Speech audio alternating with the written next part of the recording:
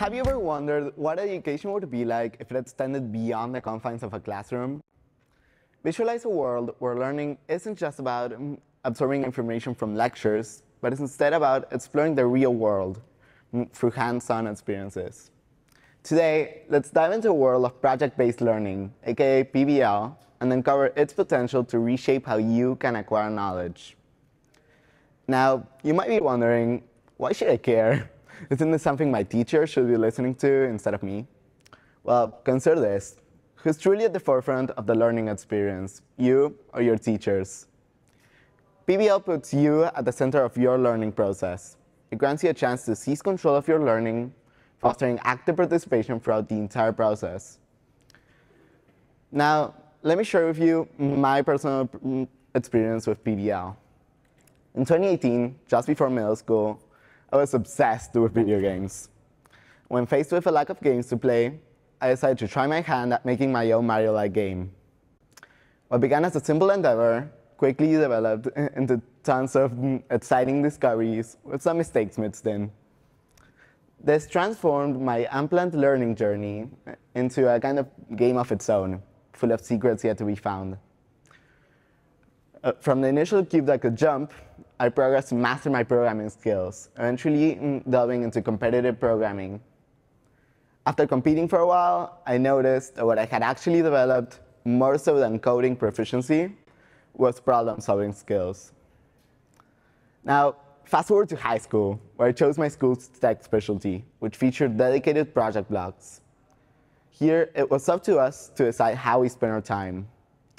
My first project involved developing an app to teach Argentinian Sign Language with games. Tasked with managing the sign database, I had to learn database management, along with a whole new programming language, all for the project to become a meaningful end product.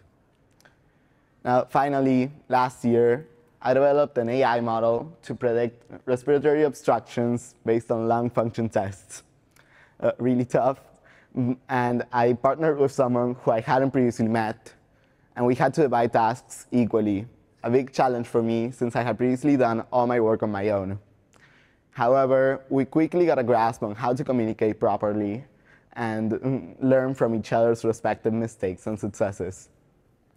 For this project, we even got to interview a leading local medical expert to gather information. And in the end, we managed to mm, uh, learn about and make a predictive AI model. Uh, now, building from my personal experience, let's transition into a broader discussion about PBL. In 2011, Thomas Markham, founder of a major PBL platform, described this approach as a seamless integration of knowing and doing. Uh, as my journey attested, it requires students to take ownership of their learning experience, going beyond the school core curricula, and applying this newfound knowledge into solving real-life problems. PBL transforms learning into a true educational odyssey, combining research, investigation, and exploration. It begins with basic knowledge and then and ends its journey with an end product which culminates the whole learning experience and serves not just to show off what you learned, but also as a practical application for those who might need it. So in my case, my school helped me promote my PBL experience, but you don't really need it to be a part of your school's program to try it. Mm, uh, if you leave with something, let it be that PBL is mostly about the journey you decide to undertake.